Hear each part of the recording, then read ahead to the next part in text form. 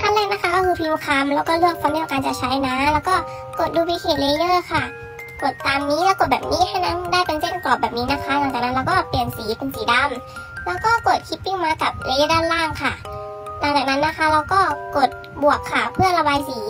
เราจะใช้บัตรนะคะมาระบายสีประมาณนี้ หลังจากนั้นเราก็กด duplicate layer ค่ะ ใช้ layer ด้านล่างนะ กดที่ แล้วก็เลื่อนออกมาอย่างนี้ ดูสีเป็นสีขาวเราจะเปลี่ยนเป็นสีดำให้ดูมี layer มากขึ้นประมาณนี้ค่ะ แล้วก็ผสม layer นะคะ ก็กด duplicate ค่ะ ใช้ layer ด้านล่างนะคะ แล้วก็กดที่ adjustment กด Gaussian blur แล้วก็เลื่อนไปทางขวา 8%ค่ะหลังจากนั้นเรากดที่ตัว S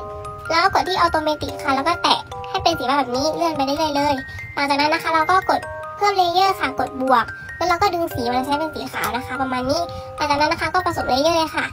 แล้วก็ทำเป็นขึ้นโดยการกดที่ adjustment แล้วกดที่ตรงนี้ แล้วก็เลื่อนขึ้นเลื่อนลงได้เลยค่ะ ประมาณนี้เลย